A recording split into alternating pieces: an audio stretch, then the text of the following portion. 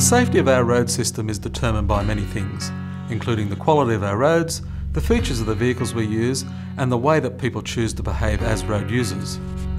While people generally try to behave safely on the roads, this is not always the case.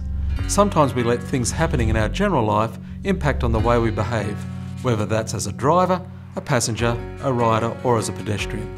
If you're tired, if you're stressed, um, if you're feeling emotional, angry, all those things, you take them on the road with you, and you have to really sort of watch that in terms of the, the life impacts on, on how you drive and, and the risks that you'll take. We all tend to think that we're a good driver and therefore less likely to be involved in a road crash than others. Research shows that people tend to drive as they live. Those who take risks or get angry in their general life are more likely to do so on the road. Those who use their phones a lot in their general life are also more likely to do so on the road. These types of behaviours increase the chances of someone being involved in a road crash. It's important to try and separate your day to day life from the way you behave on the road. You can't afford to let your behaviour on the road be determined by what's going on in the rest of your life. Smartphone wasn't really developed to be used in the car. It can easily distract even if it's sort of properly mounted um, on the windscreen above the center console. So while they're driving, they feel compelled to access Facebook or the sort of information that they always do. And while you're driving, that's very dangerous. Visual distraction is a problem because you are taking your eyes off the road while you're going at high speeds. So during that period of time, you're basically driving blind and there's these sudden events that can occur during that time.